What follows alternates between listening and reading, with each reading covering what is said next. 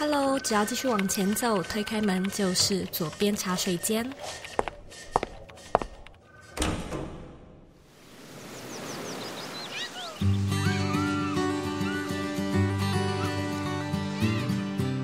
你现在在收听的是《左边茶水间》第两百四十七集。这集节目呢，我们邀请到知名的 YouTuber Nico 乌喵来与你分享他的品牌经营历程和方法。Nicole 呢，现在的频道专注在分享说书的主题，主讲的范畴呢，从小说、商业、投资理财、自我成长到心理学都有。也因为直率和敢讲的风格而深受观众喜爱。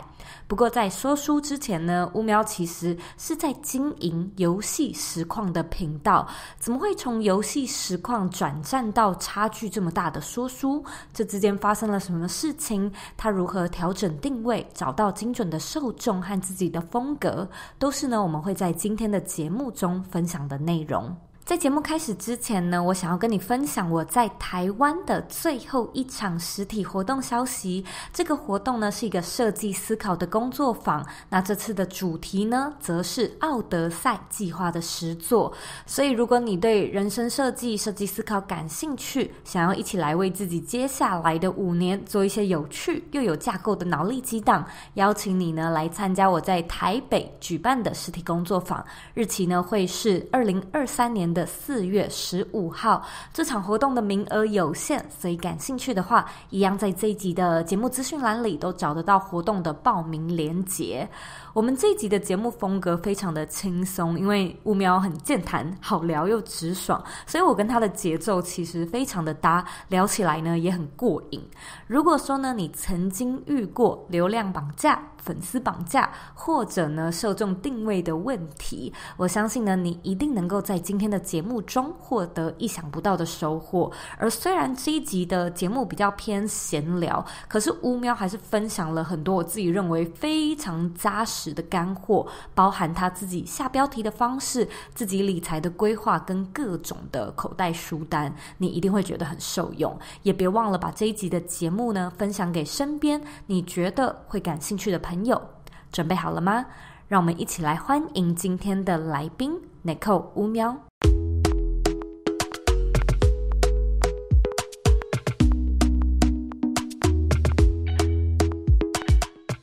来宾呢，很荣幸邀请到的是 Nicole 乌喵。Hello guys，我们这边呢就请你就是用三个简单的关键字来介绍一下你自己。真实、微光、猫。好，我就问中间那个好了，微光。哦，微光就是。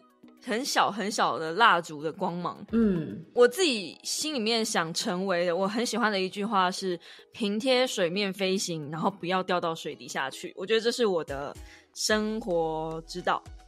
然后“微光”这个词也是我希望成为我粉丝心中的一个很重要的形象。就我不想成为那种火火热热的大手，我不想走在路上随随便便都被人家认出来。可是我又想要成为大家心中偶尔会掠过一道影子的那样子的存在，就嗯看到一个什么或是发生一个什么，就想说，哎，这个 Nico 好像有讲过。就我想要成为一个这样子的存在，我不想要成为太火热的人物，所以我我微光是我的目标。对，太红的时候我就会消失一阵子。现最近就是哎，粉丝人数开始涨得有点凶啊，那最近就不用更新了。哦，哎，这算是一个反其道而行的经营方式，我太喜欢了。因为嗯，我自己这个节目在分享怎么样去经营或怎么样去设计你的理想生活嘛。可是每一个人的理想生活都不太一样。那大众啊，可能就会觉得哦，我很希望就是早点财富自由，然后希望可以透过自媒体让自己的被动收入提高。那在经营的这段过程中呢，就会非常非常的拼命，然后非常的努力这样子。嗯，可是我觉得你的这个案例算很特别，就是说在经营的过程中还不忘你的初衷，就是可能微光的这个人生的哲理，就是一个你秉持的理念。不然的话，就是我近期的观察，我觉得很多人会有一种现象是变成所谓热情的奴隶、理想生活的奴隶的感觉。所以我觉得这一点你算是坚持的很好哎。可是我有一直在维持我自己的理想生活的那个水面哦，所以我也不敢说我自己没有为了这样子的生活付出什么代价，一定是有的啦。但是我觉得我能够把水平线抓得很好，这件事情我是蛮骄傲的。我们来聊聊第一个，你刚才说到的关键字是真实嘛？那我觉得这个完全就贯穿了你 YouTube 频道的风格。然后那时候，嗯，我的助理就跟我提案说，有没有听过 Nico 乌喵？然后他就丢了三个你的影片给我。然后第一个就是你在吐槽呃毒鸡汤的书，哎呀那一只。第二个是你在讲一本书，我现在实在有点不好意思念出来，但是书名呢就是在说。性生活就是老公的阴茎插不进来的这本书，是你在说这本书，然后我就看了两个，我就想说，好，我们来仿仿看。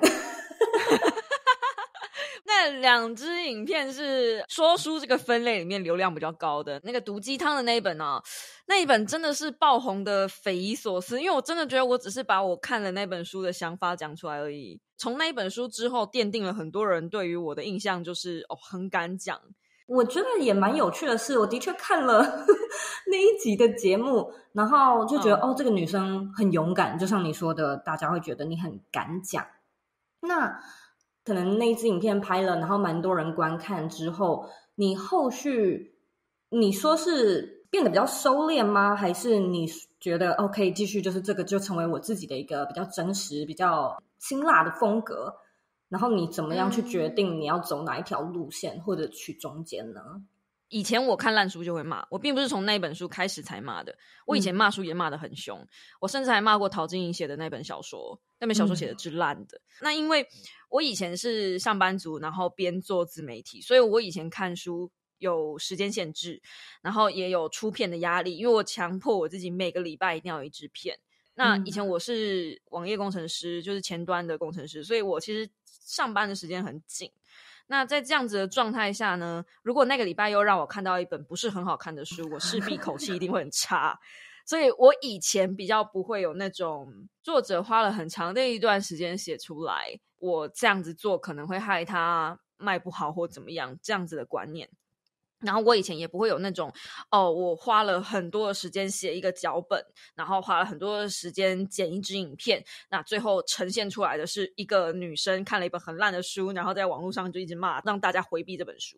所以我现在因为比较有这种时间成本的概念了，所以我觉得我不需要再把多过于的时间跟焦点跟目光浪费在那种不值得浪费的时间。就是那些书根本不值得我们去曝光。如果我今天真的看到一本很烂很烂的东西，我不需要花一整个礼拜，甚至我还要找人帮我要润我的那个剪辑的影片，那都是成本。所以我就觉得不需要。如果我今天真的看到一本很烂的书，我就在粉丝团，然后在我的 Discord，然后在我的 IG，甚至写一篇贴文，然后告诉大家说这边有雷，请回避就好了。呃，如果你们真的是想要看那种很有料的。就是很真实的，但用力在骂人的东西的话，追我的 podcast，因为我 podcast 完全不剪辑，我就录完直接上。尤其现在可能全职开始做，等于说你有更多时间看书啊，真的能够被你选成做成影片的，绝对是要某方面来说精彩，或者是出版社有给稿费。我我就很老实讲，出版社如果今天就是给我一个稿费，说 Nico 这本可不可以帮我们推荐一下，然后我就好，没问题。所以你之前做过游戏的实况主，那嗯，你后来是怎么样，就是转型到说书？你那时候在选的时候，有考虑过做其他的主题吗？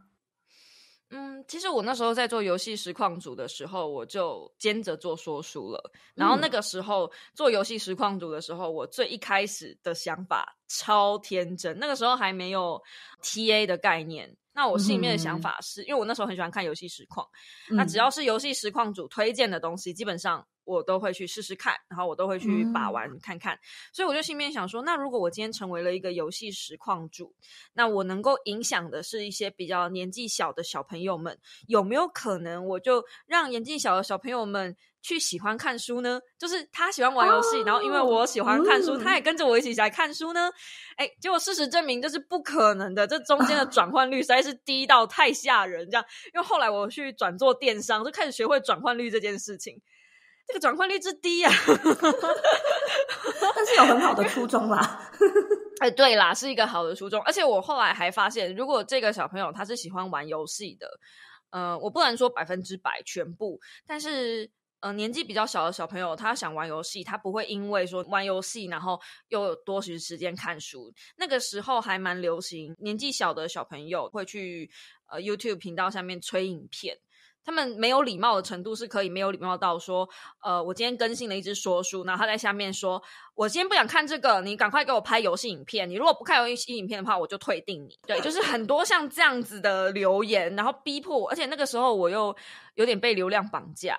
因为说书的流量跟游戏的流量差可以差到一百倍哦，我没有在夸张。我那时候游戏的流量之好的，有时候可以到二三十万一支影片，所以我那时候就觉得说，那是不是我应该先把自己的频道、自己的流量先冲起来，更多人看到了之后呢，我再来把这个说书的东西再经营起来？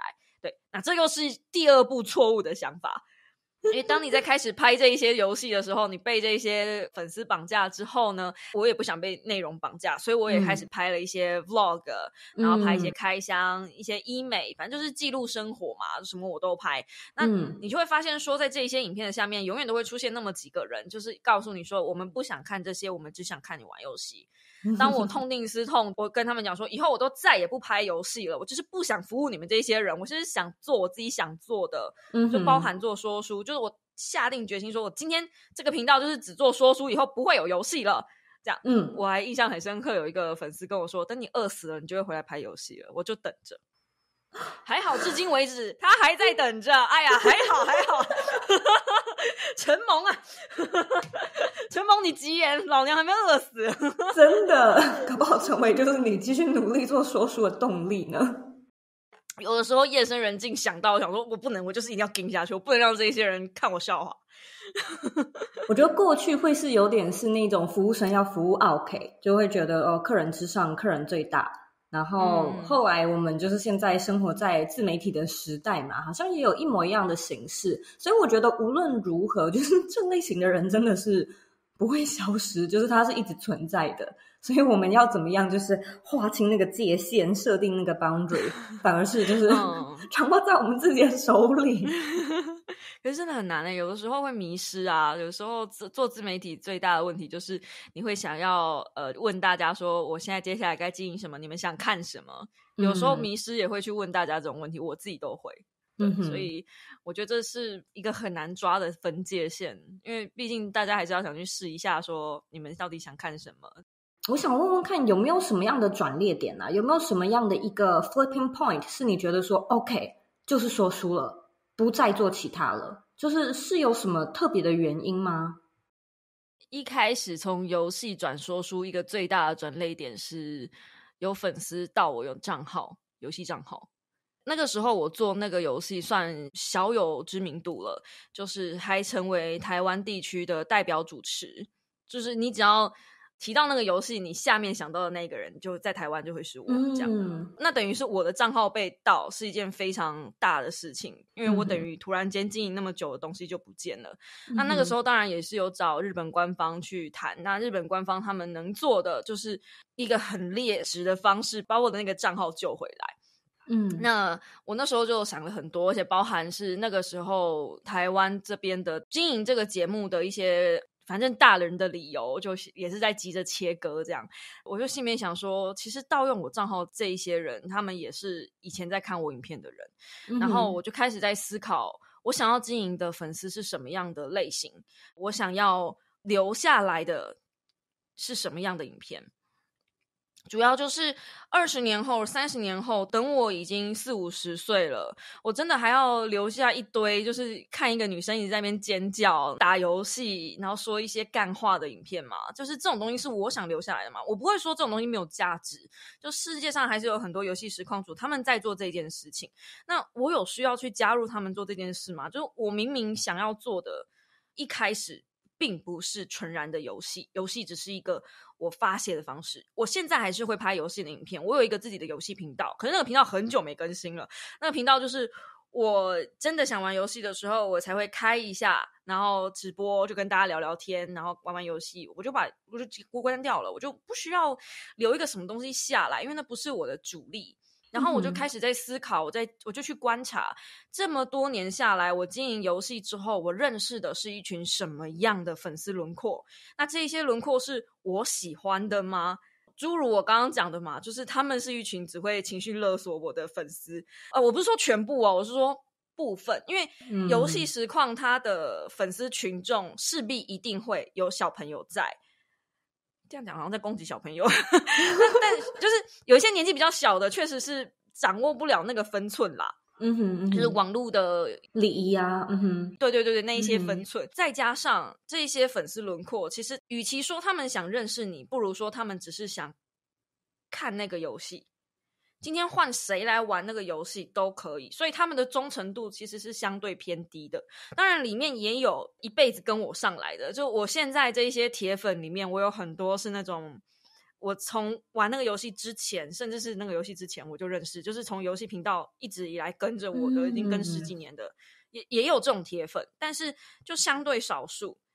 后来我做说书之后，我发现我认识的人是。这些朋友、这些粉丝，我我其实不会把他们当粉丝，我都说他们是我的小猫，因为我是把他们当真心的朋友。我今天就是有什么实话，我可以跟在这一些人面前很坦荡的说，然后我也不需要在他们面前各种掩饰，甚至有一些时候，我可以跟他们讲，我甚至不能跟我老公讲的东西，就是这么 close。那我觉得我跟其他在做说书的知识型的 KOL 又有一个不太一样的地方，是我相对更接地气。嗯哼，我一直都不觉得我是那种站在讲台上，然后跟大家在就是教这本书里面的结构啊，巴拉巴拉巴拉。我觉得我比较像是跟大家一起坐在底下，然后坐在咖啡厅里面。我一直在想象，我每次在做说书的时候，都在想象说，我比较想要那种大家一起坐在咖啡厅，然后我们大家来准备点小点心，拿一杯咖啡，然后我们来聊这本书。嗯，我比较想要的是那种感觉。所以当我的游戏。账号被偷了之后，我就很确定，我这辈子不可能再回去当游戏实况主了。就算我真的去开游戏的频道，也不会是我的主力了，因为那不是我想要经营的呃一群粉丝轮廓。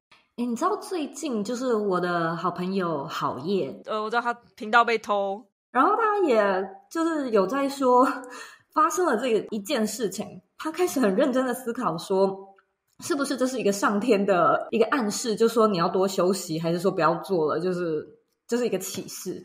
我觉得这个可能是现代版的那种自媒体人的身体出状况。就是以前如果你是那种 nine to five，然后你有一天病倒了，你就会开始想说：对我不要就是再把我的生命卖给我的公司。然后搞不好在我们这些自媒体人、个人品牌人的身上，是如果真的有一天，就是也不能说不幸。但就的确，它是一个意外嘛，就是没有人想要这种事情的发生。但它好像回过头来算是一个转机，就是让你去做一个更深层的思考。像你刚才提到的一些点，我觉得超棒的，就是你开始思考说你想要留下什么，以及你想要就是。观众的样貌啊，观众的设定是哪样的一群人？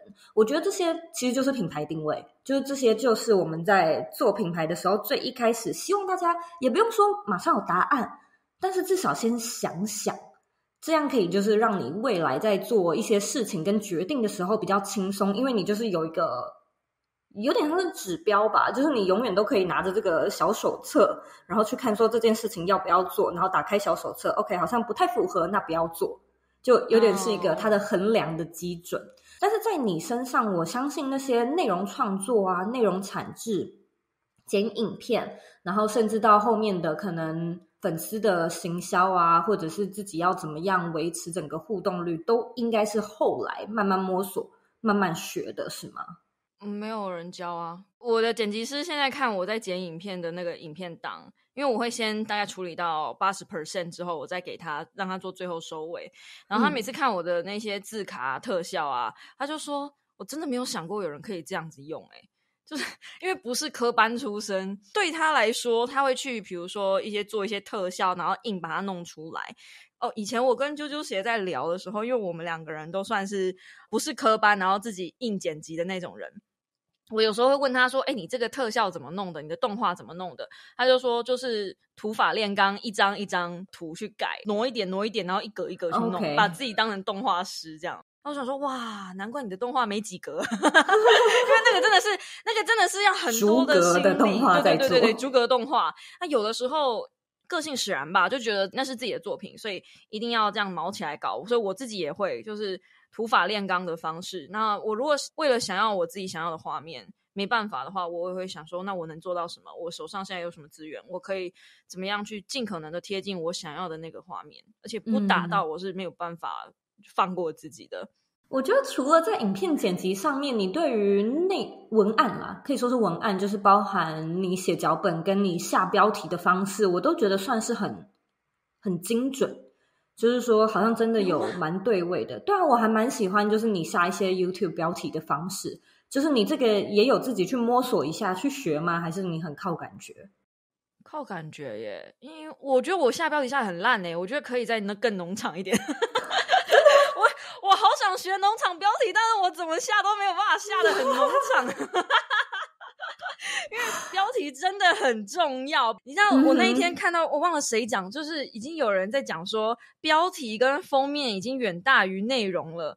然后我看到这句话的时候，我心多寒呐！你知道，老娘花了多少时间在那边磕三千、五千、六千，甚至快破万的字，快破万的脚本。然后你现在跟我说，那一行标题跟那个缩图比较重要。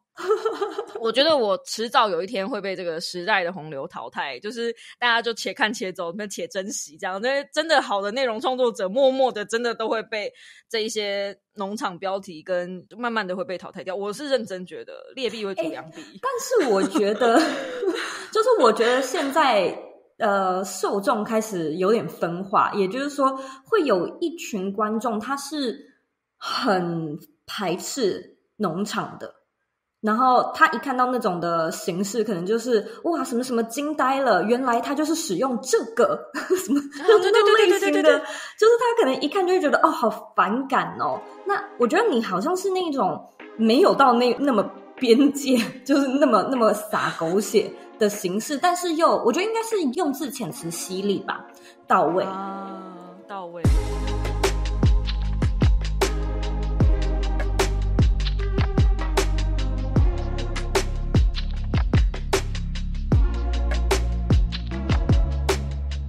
个人品牌正逐渐走向饱和与红海，如果现在来经营自媒体，究竟是否还有机会？应该要如何规划才能避开陷阱，少走冤枉路，少花冤枉钱呢？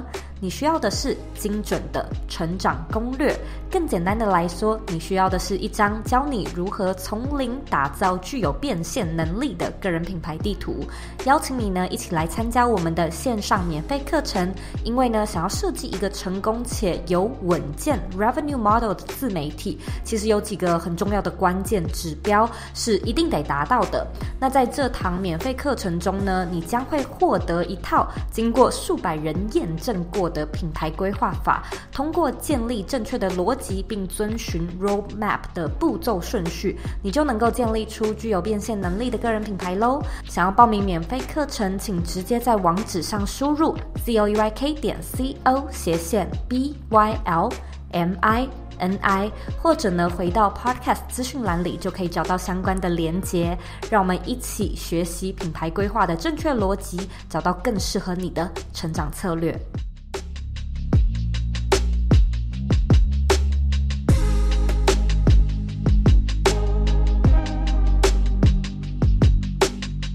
下我怎么想标题的，好了，因为每次在下标题的时候，我都是已经影片上传了，我封面也做了，就是那个当下我才在想标题的。那这个标题通常我会怎么下呢？因为我在想标题是给搜寻引擎看的，其实人是看缩图。嗯，所以在那行标题里面，我会尽可能的下 SEO 大家会平常搜寻的字。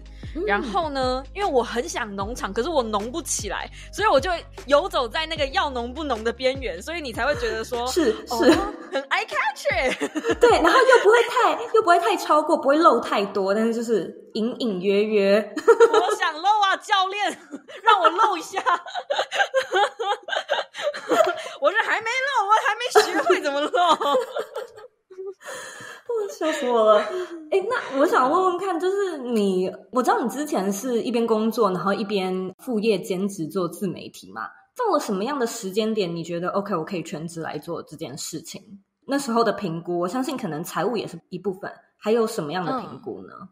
其实我一直都是一个很保守的投资人，嗯，但是我从很早以前大学的时代，我就一直有在做股票了，所以我算是以台股来说，我入场的时机点非常漂亮，再加上我一直没有出去，我是价值型投资人，所以。呃，我就一直存股，存股让它滚，让它滚。所以理论上来说，其实那个时候要做自媒体，要转全职的时候，是公司的问题，不是我的问题。嗯，因为那个时候公司有进行改组，我明明就是前端设计师，可是他们感觉就是希望前端也要能做后端的事。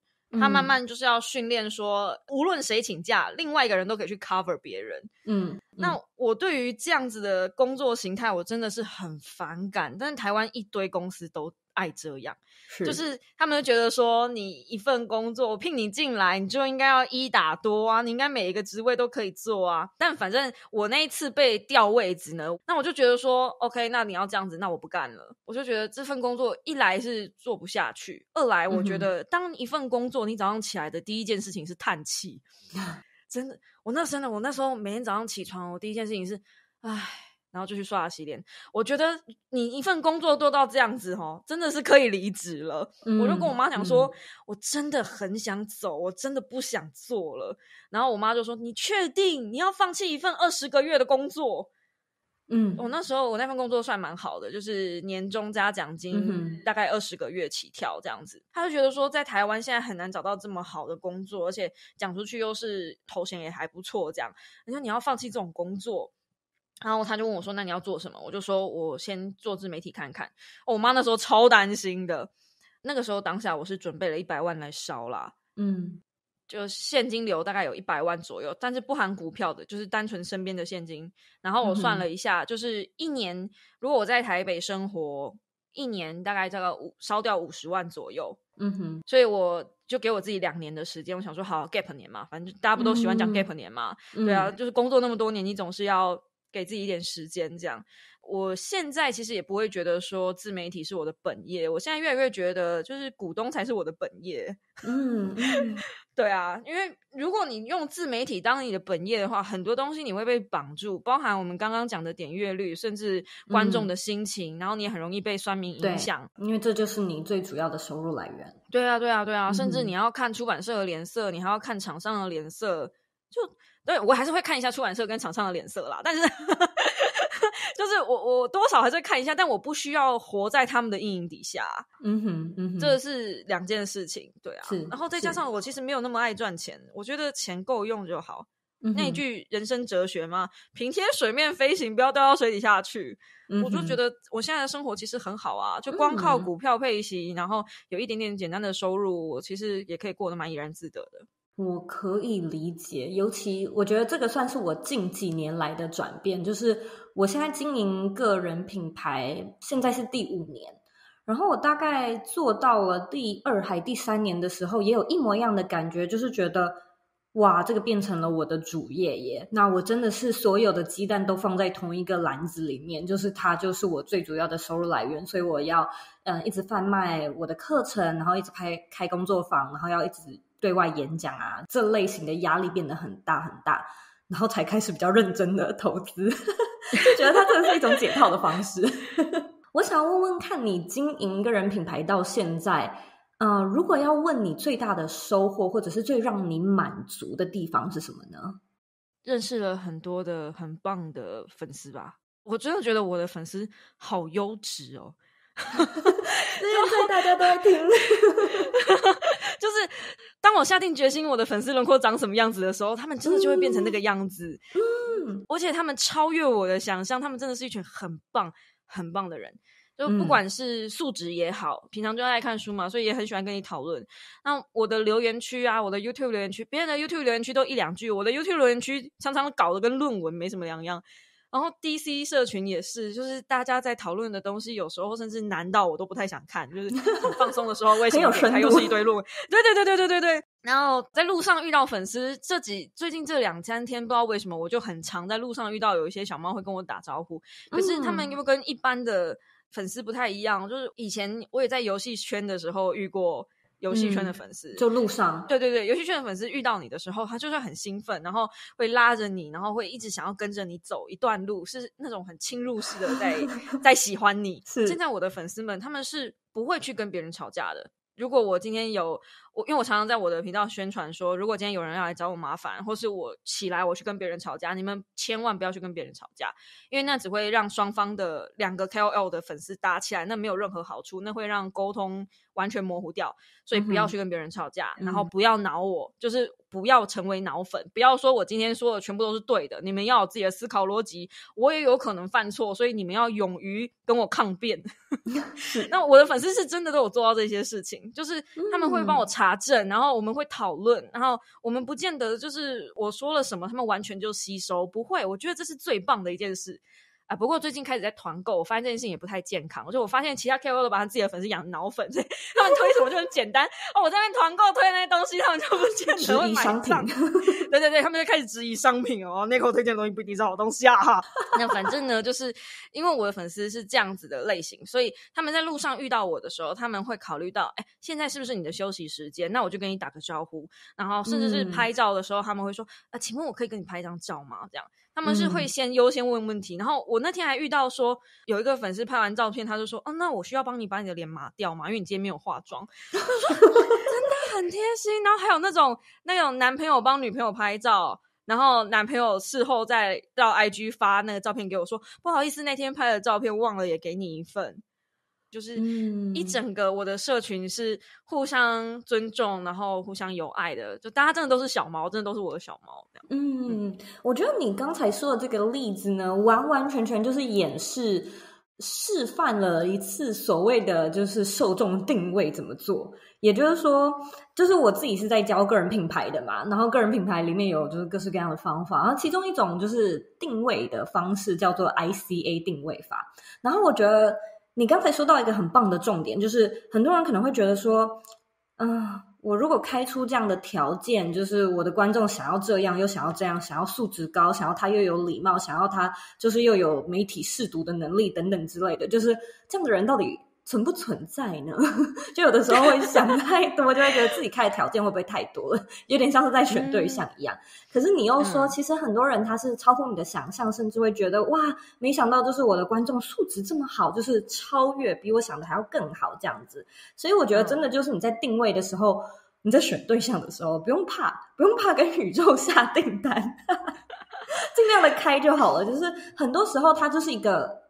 打开一扇门，开启那个契机，然后在里面会有各式各样超乎你想象的潜力潜能。我觉得这件事情真的蛮好的。嗯嗯嗯，我觉得与其说是我找到他们，不如说是诶，一开始他们当然素质也不错，然后他们也愿意教。因为我一直觉得，你担任 KOL 这三个字，你好歹你也是有背负一部分的教育责任，至少我是这么自诩的啦。嗯，所以。教育粉丝是一件很重要的事情。如果说你今天你希望你的粉丝是有媒体识别，那你就要自己也有那个识别能力，然后以身作则，告诉他们说这件事情要怎么做。我觉得我常常是这样，我看书不是只有看书而已，我会把书上的东西用在自己身上。如果发了我够久的小猫，他们会知道说我一路走来是怎么跌跌撞撞，我从不会化妆到现在会化妆，然后我从。忧郁症的那个一滩烂泥上爬上来，到现在会跟大家说说笑笑，那个开开心心的样子，这些东西都是我完整呈现在荧幕前面，我不演不不装。我就直接摊在面前给你看。如果我状态不好的时候，所有人都看得出来我状态不好。可是与此同时，他们也看得出来，再隔一个礼拜，哎，那个状态就好了。为什么？哎，因为我告诉你们说，哦，因为我看了这张这本书，这书上写了什么，然后我真的照着做。嗯，怎么讲呢？想要什么样的粉丝，自己就先成为什么样的人，然后你就会吸引了相同类型的人来跟你相聚。讲的太好了，你读了这么多这么多本书啊。有没有一两本，就是几本，是你真的觉得我太喜欢了，这个可以称得上是我的最爱的呢？就是甚至可以说是改变你人生的。这个问题每一年都有人问我，然后每一年我的答案都不太一样。嗯，那今年好了，今年的版本，好好，今年到目前为止好不好？呃，我目前看到我可以推荐国中到大学生这一段时间呢，如果你是这段时间的人的话，我推荐你看癞蛤蟆先生看心理师，嗯，因为那是我看过最基础、最基础的一本心理学的书籍，然后它是用童书的方式写的。所以这一段时间的人呢，因为我想他还在学习生涯里面，所以可能不太有那么多的心思去看书。那如果童书体是一个比较好吸收的方式，也许压力也不会那么大。就看看赛口赛赢的之后，你还可以来看看一些童书，这样放松压力。对，那大学到社会新鲜人呢，我推荐《别做热爱的事，要做真实的自己》这本书。嗯，这个也在我的书单上。哦，真的吗？这本书非常棒。这本书是一个 TED 的一个讲师他写的。然后我自己觉得，他对于工作这件事情的定义，就是像我们现在在聊的，工作如果一起来，就是你第一件事情是叹气，那你真的是可以重新思考工作对你的生活意义是什么。对，所以它里面讲别做热爱的事情，要做真实的自己。其实某一种程度上，也是所有自媒体的通病。我们太容易把兴趣变成工作，以至于我们的没有了兴趣，也没有了生活。点头如捣蒜。对，最后只加工作，是不是？是不是？我说做自媒体的，只要听到这段话，就一定每个人。对呀，这样不行，不能没有生活。所以大学到社会新鲜人这一段，因为是大家正在摸索工作跟自己的边界的时候，所以我会觉得这一段时间你看这个书挺好的，在你还没跟社会妥协之前，你还可以有一点梦想。好，然后。呃，如果你是最近想要投资理财，因为我猜左边茶水间的听众们可能会比较想要有一些投资理财的东西，知道？对，那我最近看到一本最棒的投资理财书呢，是最美好也最残酷的翻身时代。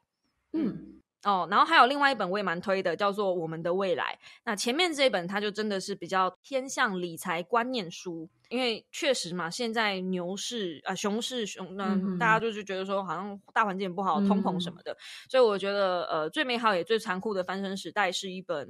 给你安心定神的书籍，对你在即便在这种这种乱世底下，你还是可以 找到一个安身立命的地方。那我们的未来呢？它其实是在思考，你有需要去跟资本主义妥协吗？怎么样才能达到共好这件事？因为大家都好像汲汲营营的在争取资源，在这个底下，如果说我们每个人都想要多拿一点，其实大家会共输。所以，我们的未来其实是在追求一个更好的思考方式啊。那本书我也蛮推荐的。最后再推荐两本，一本是心理励志，然后心理励志这个分类呢，我推荐的是修入创伤。是周木之老师最新的一本书，那我基本上周木之老师脑粉，所以，但是确实也是周木之老师他能够点出很多那种原生家庭的问题。那我觉得修路创伤是所有原生家庭啊、婆媳问题呀什么的，它这是根源。根源中的根源，所以你只要先能把这个根先治好，也许你有一天你的叶子就会长得漂亮。OK，那然后小说一定要推一本，因为我真的很喜欢看小说。小说我推荐《饥饿游戏》的前传，《饥饿游戏》前传，因为好像要上电影了，二零二三年的样子，还是二零二四年？反正那为什么我推前传？其实它。本传三本很好看，可是他前传，因为他是在讲那个总统的故事，你可以看一个好人，他也不算好人啦，他一开始其实是一个中庸的人，嗯哼，他很单纯的只是想要在残酷的世界里面活下来。你可以看到一个人怎么样得出一个结论，是最后我变得自私，我变得为我自己不管别人，因为我只是想要活下来。你可以发现，在这一套书这一本书里面，其实大部分的人都不是坏人，他们只是为了自己好。但为了自己好，真的错了吗？我那时候在看那本书的时候，我觉得很让我瑟瑟发抖的是，如果我今天是他，我会做出跟他一样的事。嗯，可是那是我逼不得已，因为好像别无选择。嗯，然后我就一直在思考说，如果我今天是他，我有没有什么其他的可能性？哦，我就反正我很喜欢这本书。对，哇，你你一次我不晓得你一次竟然分享了这么多本书。我想说，原本你可能是要分享一本两本吧，结果你现在好像分享了五六本。没有，因为每个人需要的不一样吗？每个人需要不一样。对对对，真的是果然是那个说书的，就是说书频道的说书人，就是脑子随时都有。我们现在来到节目的尾声，我有两个最后的问题想要问你。第一个是，我很喜欢问每一个来宾说，你觉得自己有哪一个特质啊，或者是心态啊，或者是也可以说是信仰啊什么的都可以，就是它可以称得上是你的超能力，就是它不断的在你追梦的这条路上助你一臂之力。嗯，意志力吧，我觉得我意志力很惊人，当然体力也很惊人，但是有时候体力用完了，我就靠意志力撑着。所以我觉得我意志力很惊人，对，所以就是我超能力，可能是你对一件事情的坚持跟毅力吗？嗯，也可以算是这样，因为很多时候在这一条路上，我相信如果有经营过自媒体的人，一定会知道，它就是一个很孤独的过程，它没有人可以帮你。而且，尤其是在初期的时候，没有人相信你。我跟我妈说我要靠说书这件事情过活的时候，全世界包括我妈都没有人相信我，他们大家都觉得我会饿死，甚至连当时我的粉丝都等着我饿死。所以，我认为意志力这件事情非常重要。意志力包含了你对你自己的信任，你对你自己的信心，包含了体力。你在夜深人静的时候，你兼两份工作，蜡烛三头烧了，你还是得呃依照时间把东西生出来。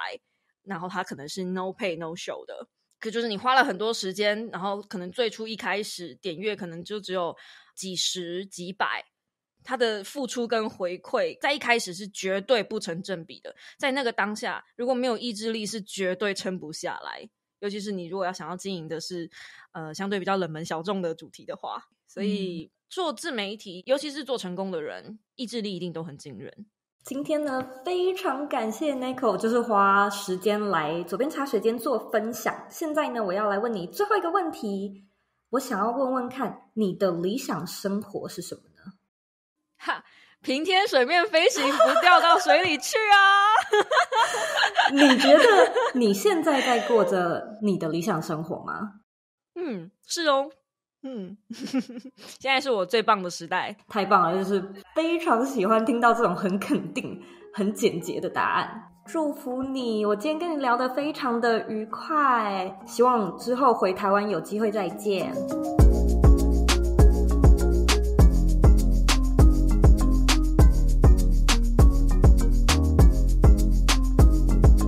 今天的重点整理一。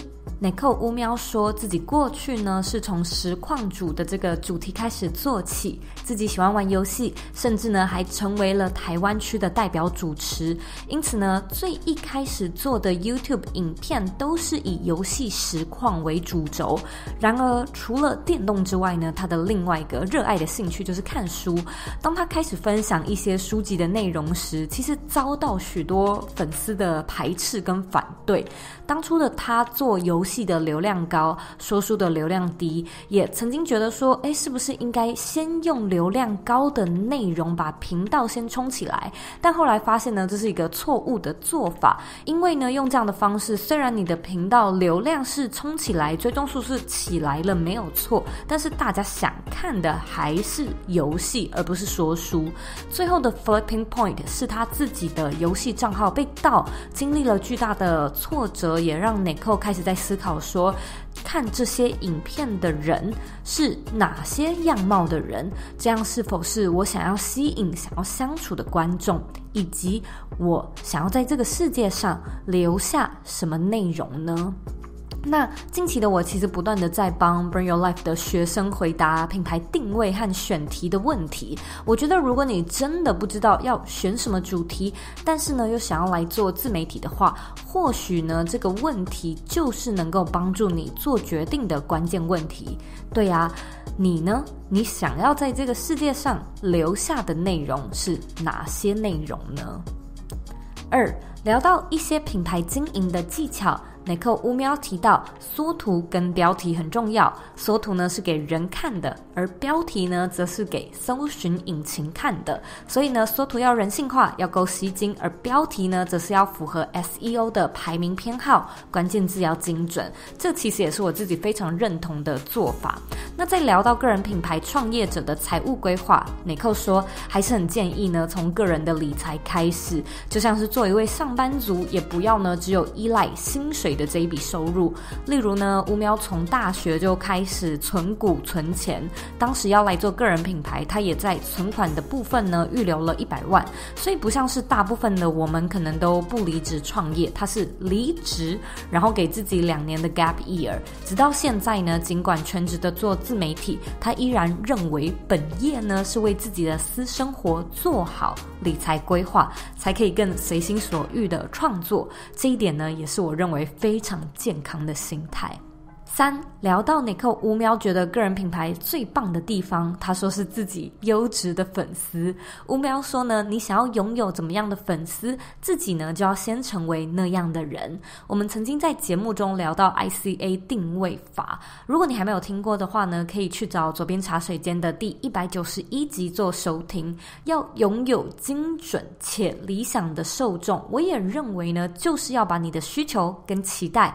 勇敢且大声的说出来，你的需求跟期待究竟是什么？是需要你花一点时间去探索跟厘清的。那如果说心中有答案的话，其实也不要怕跟宇宙下订单，因为你的订单如果不下的话，货就不会送来了嘛。如果说你有下了订单，最惨的也就只是他没有送来而已。所以一切呢，都是回归到要给自己一个机会，让你的期待呢有实现的可能。非常感谢你今天的收听，今天的内容是不是超级精彩的呢？如果说你对于 Nicole 提到的书感兴趣，回到这一集的原文呢，我们也有帮你做整理。我自己呢也很喜欢乌喵提到的早上起床的这件事情，就是。到底要不要离职啊？到底要不要转换跑道？到底要不要离开舒适圈？或许呢，你可以先去观察一下自己早上起床的第一件事情，是不是无意识的就大声的叹了一口气呢？如果是的话，或许现在就是一个可以开始改变的时机。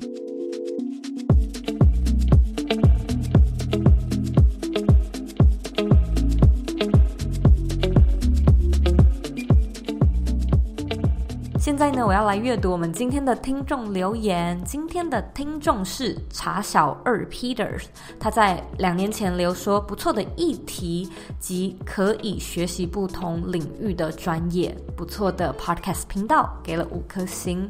非常谢谢 Peter 的留言。如果说呢，你听完今天这一集的节目，觉得有带给你一些收获、一些启发的话呢，我也希望你可以像 Peter 一样，帮我呢到 Apple Podcast 上面打星评分。还有留言，在留言的时候呢，我希望你可以告诉我你现在正在收听的是哪一集，这样对我来说的帮助会非常的大，我也更好知道你比较喜欢收听哪样类型的节目。也别忘了按下订阅键，订阅这个节目，然后把它分享给身边你认为会有需要的人，或者是你认为很重要的人。我们现在呢，在脸书上面也有一个私密的社团，你只要搜寻“理想生活号”就可以找到我们，并且加入这个社团。假设还有其他问题的话呢，也欢迎你回到我的网站或者是 Instagram 上面找我。我的网站网址呢和 IG 的账号一样是 z o u y k 点 c o。你可以截图这集的节目，分享到你的 IG 线动上面，并且 tag 我，让我知道你有在收听，以及让我知道你听完这集节目之后的想法。最后的最后呢，我知道你是非常忙碌的，我也知道呢，你可以选择去做很多很多其他的事情，但是呢，你却选择来收听这一集的节目，而且还听到最后，我是真的非常非常的感谢你。现在呢，我也想要花一点时间跟你说，你是你人生的负责人，你有权利也有能力去过你真正。热爱的人生，我们下次见喽。